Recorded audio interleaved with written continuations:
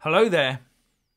In yet another blow to the doom and gloomers, the Microsoft boss and world's richest man Bill Gates now says UK science and technology firms can boom after we exit from the EU.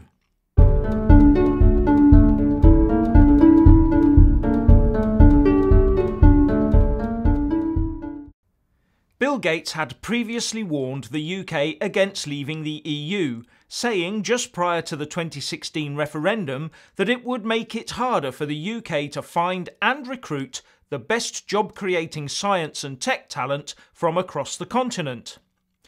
But now, in an interview with the Daily Telegraph, he says not only that he's donated £750 million to UK research institutions because they're the best at doing lots of this important work, but also that the UK can still be a world leader in science and technology as long as we continue to attract the right talent and invest in research and development.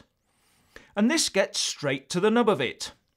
Those that wish us to remain in the EU keep on claiming that once we leave the EU, there'll be no investment in anything and we'll somehow actively turn away good people. So they claim it's goodbye to all technological advancement in the UK as all the laboratories will be shut down. This is just not the case. The UK does not need to be politically joined at the hip with any other country or set of countries in order to embark on joint enterprises. The UK does not need to fling open its borders in order to attract the talent it needs. And the UK definitely does not need a paid intermediary such as the European Union siphoning off funds when investing in research and development with the intermediary then telling us what to spend our own money on.